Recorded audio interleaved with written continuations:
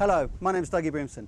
This week on the Stock Car Show, we'll be featuring two of the oldest Formula on the ovals. You'll see them not just racing here at the Northampton International Raceway, but all over Britain. Up here at the Northampton International Raceway Stadium. Let's just run through one of those stats again, or a couple of them rather. V8 Chevrolet engines from America putting out over 600 horsepower.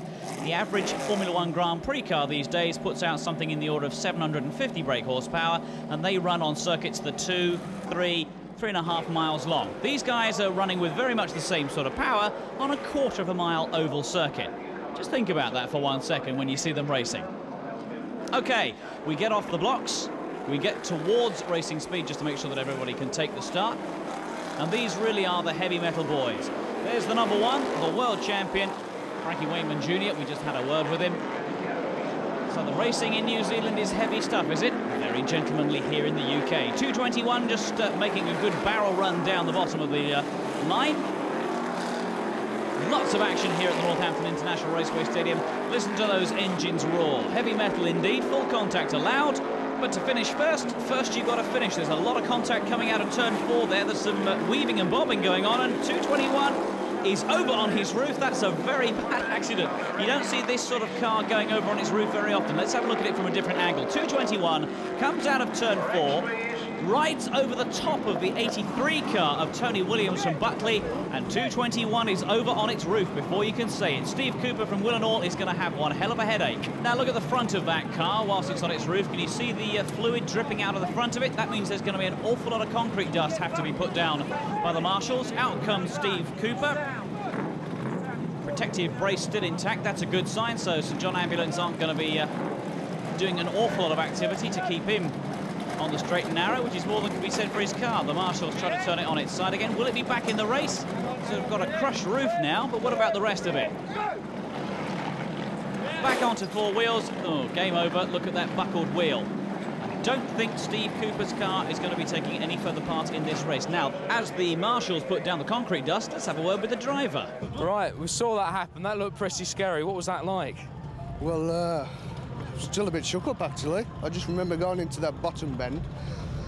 I just back end come out a bit, just come out that um, that top bend then, and I just it just went then, just went straight from me. Well, did it? Did you clip another car? I think I did, yeah. I remember going up, coming back down. I, I don't know whether another car hit me then from the inside. To um, I just remember seeing that fence. Was it over before you realised it? It went quite long actually. I mean, I've rolled over before, and it in me uh, in me mini, and it's quite quick, but that lasted quite quite some time actually. So what sort of damage on first examining has it done to the car? Um, I noticed the petrol and the oil was dripping out, aerofoil, and I, I, didn't see anything else really. We'll have a good look when we get back to the pits now. A somewhat stunned Steve Cooper there from Willenhall goes back to the pits. He won't be taking any further part in this race, but there is a consolation that he might just get himself back into contention for. We've still got a race to complete here on Northants Motorsport. The Formula One Stocks Heat number one. Once more we get under starters orders. Once more we fly around the circuit with the heavy metal boys. American Chevrolet engines, V8. Look at that concrete dust. You try hitting that at around 70 miles an hour and breathe at the same time. You'll find it's rather difficult.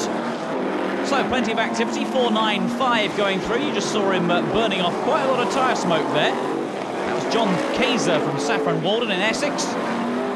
And the Phil Wheelton car in number six. Now this is where a real dice is uh, unfolding. Number six, the yellow top car, 495, seems to be burning off tyres as he comes around turn four. He's done that a couple of times this afternoon. Frankie Wainman Jr. going through the field there, barreling through. Looks a very low-slung Formula One car that he's driving. He's not world champion for nothing. Just look at the guy's technique. Tight into the corners, wide on the exit, and gets the hammer down big time. Number one looking for a win here in Heat 1 for the Formula Ones. Real heavyweight stuff. A little bit of slidery going on down in the lower order of the field. In fact, that's big tank slapping going on for Neil Mellish from Worksop. That'll have given him a wake-up call. Frankie Wainman's about to give 72 a wake-up call of his own. 72 just being deposed. James Yarrow from Market Harborough. Frankie Wainman goes wheel to wheel down into turn one. exits on the tight line. Listen to those engines roar. Not a place to be if you're faint of heart. Frankie Wainman going through. Not many laps left. 495 going very, very sideways, burning off a lot of tyres there. And I think this is, yes, it's last lap time for Frankie Wainman. Takes the win in Heat 1. Business as normal now. Who's going to get second position? Is it going to be 72 or 6? 72. 72 loses a tyre almost on the line. And I think that's given second position to Phil Wilton. Now in Formula One stock car racing, what you see out on track is only half the story because the guys that work here in the pits are what really carry this sport along. Now I'm here with Nigel Parker, who's one of the member of the crew on the 250 Keith Chambers car. Nigel, how many hours a week do you put into looking after this car? Well, just lately it's been every night. Yeah? Till around half 11 at night. Have you, the last did you, two weeks. Did you actually build this car? No, I didn't. It's a Clive Linson chassis this is. Yeah? Now what does your, you know, your missus think about you doing this? I don't think she minds because she can get to watch what she wants on the telly when I'm in the garage, so Yeah? it doesn't bother her. Now, if, when Keith comes off track and he's had a very hard race, um, how do you react to him? Do you just let him cool down a bit on his own or do you give him a bit of grief? Depends on the day and the occasion. If it's a big meeting, we wind him up. We get Yeah. him wound up Is he a good bloke to work with? sometimes. Yeah? Uh, how many other guys work on the car in total? There's around seven of us. Now, stock car racing is controlled by the start marshal, who is guided by the chief steward up in the control tower. Now, the stock car marshal runs his race through the use of flags and flag signals. Green is the most obvious one, that means go. A held yellow flag means caution, something's going on. By rights, when a held yellow is out, you shouldn't overtake, at least not at that spot. If you have waved yellow flags, that means all the drivers have to slow down and settle into single file with no overtaking. A green flag will restart the race. You have waved yellows because someone's stuck in a car or a car's broken down in a dangerous spot. If you see a red flag, then the race is immediately stopped and all the drivers should slow down to walk in place. The checkered flag is the one all race drivers want to see because it means they've just won the race. The only open-wheeled non-contact formula currently racing in any significant number on the ovals are the Grand Prix midgets. Now as an engineer, these little cars have always fascinated me, primarily because whilst the rules for building them are quite carefully defined, they actually leave quite a lot of scope for the home builder to put together something himself. For example, on any grid you'll have both front and rear wheel drive, some of them ex-Formula Ford chassis, some of them purchased from manufacturers like this one called Dastal. But when you stand next to one of these things, the immediate impression is that they are so tiny. The wheelbase is 82 inches, which is less than six feet, but that makes them incredibly agile. And with fully adjustable suspension and slick tyres, the speed they carry into a bend is absolutely incredible. The engines used in Grand Prix midgets have to be under 1350cc. This one's a Ford 1300, but you'll find anything from Volkswagen Beetles to Minis. But the thing about them is they're very highly tuned to give over 100 brake horsepower. And with these light little cars, that gives them an incredible power to weight ratio. Indeed, these little things are some of the fastest motors you'll see on the ovals. But the thing about these little cars is action. And so before we see anything else, let's have a look at them on the track. And now it's time for the Grand Prix Midgets, Heat 1 from then. Very, very different type of motorsport as you can see here, open wheel racing. Very, very small cars, high power to weight ratio as a result, open wheel. Going for the yellow flag, going for the green flag. You see we have a clutch start and away these little cars rocket. Absolutely tearing around the course, the opposite direction to the stock rods that you just saw. Uh, an early shower there in the Grand Prix Midgets. 22 there is the car of John Hanna from Northampton. Good to see some different cars here. Oh, there's been trouble at the back of the field. Are we going to see a race stoppage? I don't think so because they're deep into uh, turn two. Great shot from our uh, head-on camera there as you can see the cars come barreling down to turn three and four. Number two, Andy Collins from Bedford in one of the larger Grand Prix midget cars there. Open it in different fields. Those of you that have uh, watched motor racing for many years will perhaps recognise the silhouette. Oh, bad spin there, number 66. Won't be at all happy with that. Gary Piper from Staines as the rest of the field comes barreling past him. Now, don't be uh, taken in by that air intake on Gary Bonner's car. That's not a cartoon car, that's a full blooded racing car, the form of Grand Prix midget racing from Manningtree, Gary Bonner in 27. Uh, is that 18 or 19? Difficult to tell. It's actually Stuart Haynes from East Dereham who's made quite a long journey to be here. We've seen him before. Look out for number 10, Rod Sale. Started at the back of the field. There he is, cutting his way through the field and just coming up behind Gordon Pooley from March in the 33 car. I was talking earlier on about the sizes of cars.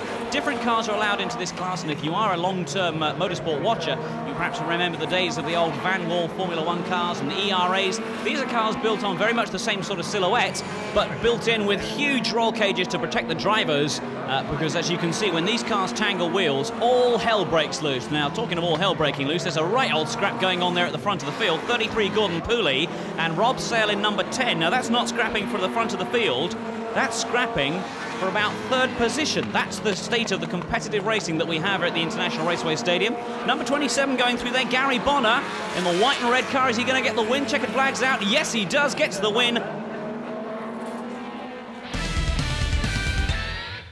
This is Rookie Banger Racing, the very first time the Rookie Bangers have been in operation at the Northampton International Raceway Stadium. You're allowed to go round around the circuit non-contact until the Union Jack goes out. You'll see Mr. Starter bringing the flag out later on in this race. Once that happens, it's a free-for-all, and you can bang anything you like. There's Karen Tilson going through in uh, car 32. And there goes Darren Hart in something that sounds like it should be in the Jetsons rather than up here at the Northampton International Raceway Stadium. Into our first programme of Programme 2 for Apocalypse 1. Confused? Don't be. The racing is top quality. Plenty of tyre screaming going on, plenty of cars without too many dents so far, and let's just let them settle themselves down. There's a couple of old uh, Golf uh, Volkswagen Golfs in there. That's Karen Tilson in the 32 car. Very good, very regular, and she's incredibly regular now because she's being punted T-bone style across the start-finish line. She won't be at all pleased about that. But not too many dents and nudges so far. Where's the Hart car? Answer? Nowhere to be seen. Now, out comes the checkered flag, which means, gentlemen and madam, you may thwack the living daylights out of your fellow drivers. Now, that's the way to do it. 2-1-1 takes an early bath. Let's have a look at it from another angle. Not sure whether he was clouted or lost it without uh, any... Oh, goodbye, Darren. I think Darren lasted about a, a lap and a half. So, um, well, they all have to start from somewhere. Lots of screaming going on from the uh, number 83 car there. That's Phil Quincy out in his first race in the Rookie Bangers. Look at the adhesion from that car. There isn't any. Looking also for uh, 407 Terry Bradshaw out in the uh, rookie bangers. 211 looks as though he's managed to get it all together again, not uh, throwing it against the wall anymore. Number 100, oh, taps out number 83, Phil Quincy. Picks it up very quickly, that's, that's a good recovery. There's Terry Bradshaw in the 407 car with a uh, slightly novel paint job. 32, Karen Tilson now uh, taking no prisoners. Good avoidance there, very good. Did well to avoid number 86. Uh, that's Chris Briggs just sprinting there. 102-1-1 fighting for position on the infield, which is not quite the way to do it. 345, Budgie Johnson assaulting the barriers, but managing to uh, come off quite well out of it, actually. Well, he's pointing in the right direction at least, and that's a bonus this afternoon. Karen Tilson still going around in the Volkswagen Golf. The Sierras doing their own sort of pirouette a la Torvill and Dean. And there's 407 with a blue smurf on the front. If you know why Terry Bradshaw has a blue smurf on the front of his car, please get in contact because we'd love to know. Budgie Johnson then in the slightly remodeled Sierra coming around once again. Remember, this is the first race for the Rookie Bangers. It's meant to be, oh dear, somewhat remodeled. It's meant to be the lowest form of cost motorsport you can get into. And it seems to be going rather well. Into the final lap then. This looks like it could be an inaugural win for Budgie Johnson. Takes a checkered flag, gets first position. In second position, whoa, that's a good race. Terry Bradshaw in 407 gets second. Phil Quincy in third and just edged out into fourth position. Karen Tilson in the number 32 car. More stock car racing right after this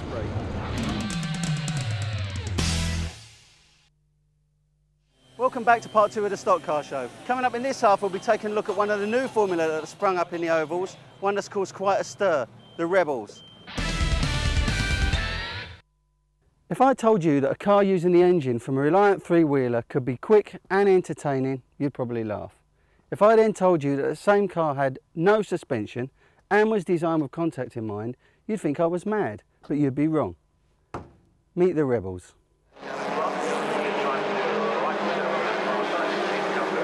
Based on a very heavy duty steel chassis with a fiberglass body that's a 5 8 replica of a 1947 Ford Popular, the Rebels are powered by 850cc Reliant engines that have been reworked to give about 64 brake horsepower.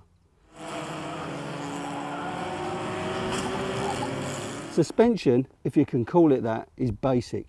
It utilises rubber sandwich blocks and trailing links with no modifications allowed. In fact, anyone caught cheating in the Rebels is immediately banned. That effectively rules out the checkbook racer and the only thing you can do with these little cars is drive them. So let's have a look at some of them in action. And away we go into race one. Very big field of cars. But already they're getting big time sideways. Now, these are the cars that you can come and hire yourself at the International Raceway Stadium. Cost you about 150 notes if you want to come and race for an afternoon. And believe me, you'll certainly find out where the men and the boys are when you race in Rebels. Car 36 getting out of shape. Whoa, there's an airborne triple Salchow with a toe loop as well. Wimbledon-based Richard Maylam losing the liner from his front wheel. Let's just have another look at that.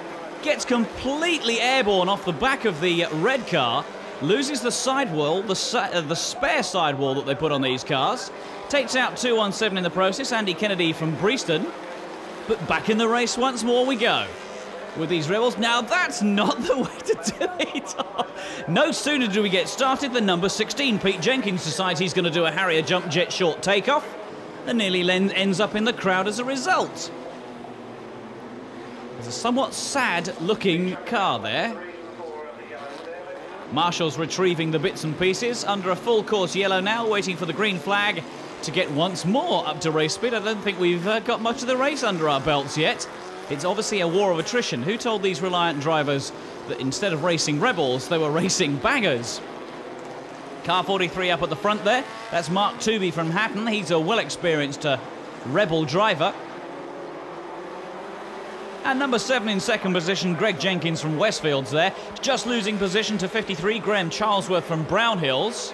Takes the inside line. These are very grippy cars, actually. We haven't got much in the way of bodily fluids from bangers on the circuit, so there's not much sliding going on. 33 doing a fair amount of bouncing. He's going to be in the wall if he's not careful. That's Andy Milner from Tamworth. And he'll have lost a few places as a result. There's our race leader, Mark Tooby, coming through in car 43. And not many laps left in this first heat of the programme this afternoon. In fact, I think he may well be on to his final lap if not now, then certainly in the next circuit or two. Quarter mile short course circuit here at the Northampton International Raceway Stadium being run in anti-clockwise order. There's a spinner there. Number seven coming through the throng there, and I think that car's been damaged. It's not moving very quickly at all. Let's have a look again and see whether we can find out what exactly happened. Have a spinner in the front of the field.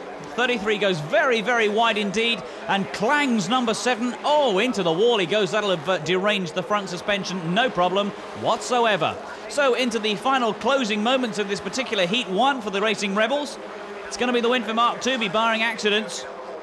Doesn't often make them up here. There he goes through to take the win. Car 43, Mark Tooby gets the win. In second position, Graham Charlesworth in 53. And from Coventry, number 23, Mark Rogers. And that car, number 77, David Yap from Pelsall, trying to go in three directions at once. And still 33 and 16 trying to go sideways rather than forwards, which isn't really the way that you want to race a Rebel. Still, good entertainment for the crowd. As we've just seen, one of the great strengths of this formula is the fact that all the cars are so equal. What happens out on that track is down to the skill of the driver and the way he uses that front bumper. Because just because the speeds are slower, make no mistake, this is proper stock car racing. Personally, I had a few doubts about the Rebels at first. I mean, they do look a bit strange, don't they? But after watching them for a few years and speaking to loads of the drivers, there's no doubt about it, they are a cracking formula and I've got no doubt they'll be around for a long, long time. A large field of Rebels, over 20 cars taking the start for this Heat 2 of Northants Motorsport. We'll show you the finals next week. But we just get up to racing speed now, waiting for the waved green flags to say, yes, boys, you may go. Very short wheelbase, quite twitchy cars, easy to uh, clangum coming out of the corners, and you'll see plenty of that going on, no doubt, in their second heat this afternoon. There you go. No sooner have I said it than it happens. Three into two definitely won't go, and number three definitely out of contention. Darren Clark from Haverhill decides that's it, game over. I don't think he's actually completed a racing lap yet. 33, we saw him earlier on. Andy Milner and Bob Moss in uh, 82. Ah, both sideways, almost as one, a synchronous pair, and both out of the race. Now look at this, there's an enormous, great mobile chicane building up as these cars swerve in avoidance. Let's see it again. 82 goes sideways, 33 goes sideways, 23 pushes 82 down the track and gets nerfed up the back end by 33 Andy Milner. Meanwhile, poor old number 30 gets caught up in the melee and just gets delayed. 827 gets away, Daryl Whitfield from Markfield. And still the racing continues. 82 waiting for a position so that he can insert himself back into the race. Or has his car actually stalled? I think that's the case. 56, oh, doing a Torvill indeed. Not the place to do it coming out of turn four. Well, that's resourceful. I suppose you can reverse your way around the track if you want, but you aren't going to go as fast as going forwards. Oh, this is not banger racing, but you'd be forgiven for thinking that it was. Full contact allowed in the Rebels. The Rebel yell, I think, and the yelling is of the driver as he sees the entire field coming barreling down to him at full speed. Dave Morley from Belper number eight just uh, disappearing there. 53. Graham Charlesworth from Brownhills, we saw him at the front of the race last time, but that's not the way to do it, Graham Charlesworth. Now, what's it done to his steering? Is he able to continue at race speed? Looks like it. 56 going sideways, sideways again and clouting somebody in the process. They really are built very solidly, these cars. I have driven one in the past, and I can assure you every single last bump gets transferred straight through the driver's body. A lot of these guys will be in hot showers or baths this evening, trying to uh, rest tired and aching muscles. 58 in your picture, David Moores from Oxford relatively trouble-free, but that might well change as Mark Rogers from Coventry in the 23 car comes by. Just uh, looking to tap them out. 58, that's actually your race leader. And I think he's on his final lap. Yes, he is. We got confirmation. David Moores from Oxford holding the, uh, the leading position. Will he hold it? Yes, he does. Well, that's it for me this week. If you want to see any of the formula we feature here on the Stock Car Show, simple answer is get yourself down to your local stock car track.